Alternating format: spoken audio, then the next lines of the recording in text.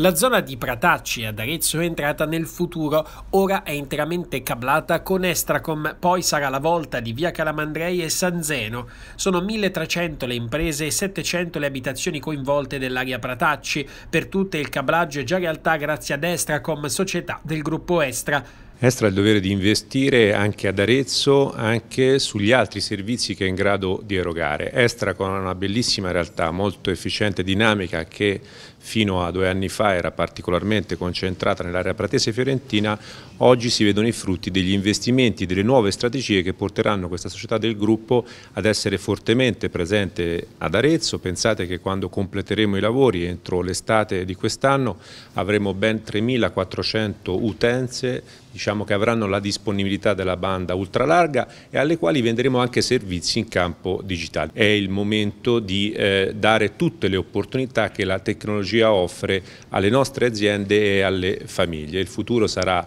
diciamo, eh, un'azienda moderna, intelligente, capace di connettersi, di vendere il più possibile attraverso questi strumenti che stanno dilagando, ma c'è anche una risposta alle famiglie, non solo alle imprese, le famiglie perché si parla anche di centinaia e centinaia di utenze che eh, saranno dotate appunto della banda ultralarga che contribuirà anche a aumentare il valore degli immobili. Il cablaggio sarà esteso in via Calamandrei dove riguarderà 1200 attività produttive e poi a San Zeno con 200 aziende che potranno fruire del servizio. In queste due aree il completamento dei lavori è previsto per la fine dell'estate. Complessivamente Estracom offre la miglior connessione oggi possibile alla rete a 3400 utenze con un investimento di oltre un milione di euro, il coinvolgimento delle imprese locali e quindi anche con maggiore occupazione. Io li chiamerei servizi digitali, quindi per ora è banda ultralarga, quindi grosse quantità di internet da 100 megabit a 1 gigabit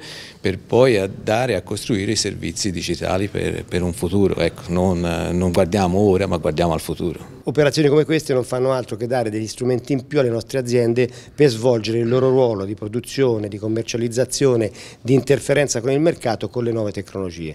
Siamo alle soglie del futuro. Arezzo è sempre stata una città che è riuscita a modificare i suoi modi di produrre ricchezza a partire dalla, dalla dall'attività eh, agricola che la caratterizzava prima della seconda guerra mondiale. Siamo alla terza trasformazione. Credo che abbiamo le carte in regola per presentarci veramente alla soglia del secondo decennio di questo secondo millennio in maniera eccezionalmente preparata. Oggi le imprese, questo dico da imprenditori, se una volta apprezzavano la viabilità, quindi strade, autostrade, ferrovie, oggi hanno altri canali per affrontare la sfida del mercato del domani.